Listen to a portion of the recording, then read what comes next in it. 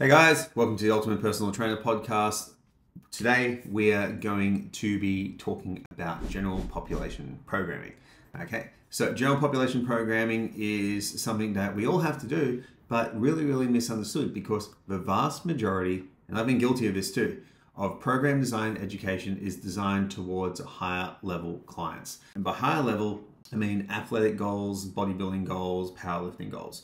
That stuff is fine. There's nothing wrong with it I love it. I think it's great training. But for a general population client, it doesn't always get the best out of them and doesn't lead to the best outcomes. And today I'm going to go over the reasons why.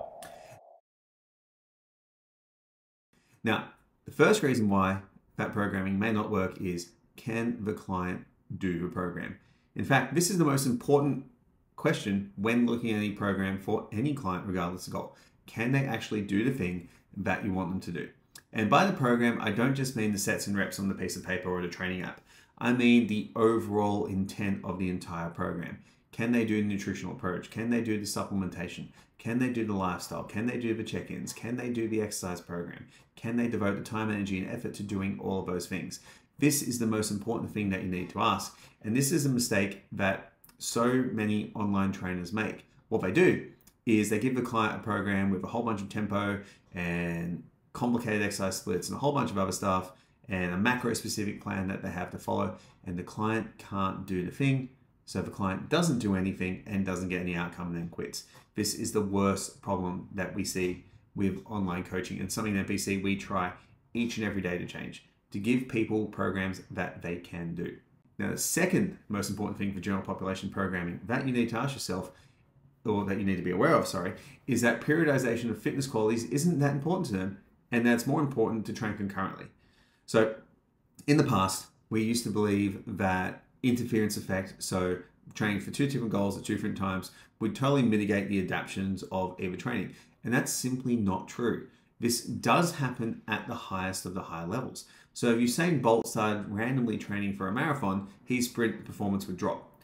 But for the average general population client, training for concurrent goals at the same time is probably the best use of unlimited training time that they have.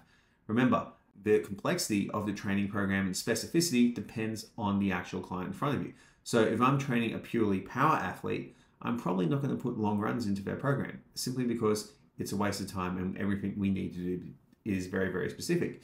But if I got a general population client, they need to have some element of agility in their program. They need to have some element of mobility. They need to have some element of power, strength, hypertrophy, and cardiovascular fitness.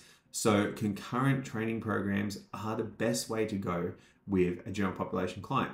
That may be starting off with a mobility based warm up, doing some jumps and some power lifts, doing some heavy strength training, then doing a little bit of hypertrophy accessory work, and then a conditioning or cardio circuit at the end to give them the best possible outcomes. That is a great way to program for a general population client who has multiple fitness goals and wants to use fitness to make their life better not make their life revolve around their fitness.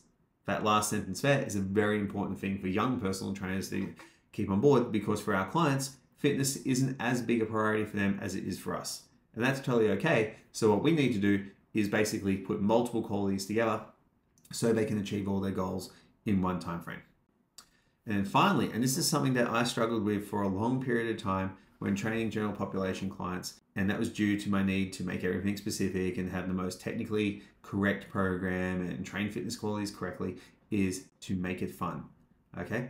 There's nothing wrong with having fun in the gym. In fact, it's probably a really valuable thing for the vast majority of general population clients who don't have too much fun in their day to day.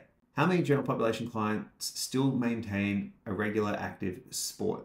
There's not that many. And the ones that do are generally pretty injured, but not to digress. Most people don't have that much fun throughout the day. They get up, they do stuff, they go to work, they go home, they eat, they sleep, they drink, they go out on the weekend and drink, and that's basically it. They don't have physical fun. So, changing our perception of exercise to make movement fun is a really good thing for changing someone's relationship to exercise and improving their adherence. This can be done in the form of challenges, weird partner workouts, medicine ball work, chucking things. There's so many tools to make exercise fun. And this is one of the things that led to the popularity of things like CrossFit and the F45 and training modalities that had a lot of variation built into it. People found the variation fun. So if we can build some variation and fun into our programming, we're going to find that people stick to it for a lot longer. And even back in the golden days of bodybuilding, uh, they would have fun in the gym too, where they do like running the racks and all other kinds of training techniques that we might know now by science aren't that good, but they're sure as hell fun to do uh, on a semi-regular basis to push yourself to a new limit and just have some fun doing something a little bit weird. So, journal pop program, remember the following. Make sure when you look at it, the client can do it. That is the most important thing. The next one is not to worry about periodizing their fitness qualities, but to kind of train it all in the concurrent program, which is also going to help make it fun and add variety to the program for the client. And then finally, make sure you do have some specific time to make it fun. If you run a fitness studio, so gym, personal training studio, and run semi-private classes, that's going to be a big part of the success of this studio. The ability of the coaches to make it fun, the hard stuff, and then having some fun elements into the actual training. This will guarantee that you have higher levels of retention and higher levels of client success. When you're working online, it's a little harder to do that, but generally when you're working online, you need to focus on can they do the program and you've got more specific goals that you're going for. So guys, if you're keen, we have a free general pop training course where it talks about all this kind of stuff. It's eight weeks, it's totally free. Links in the description. No need to do anything but to fill it in. We'll send you the course straight away. Thanks heaps guys. Have a good one and speak soon.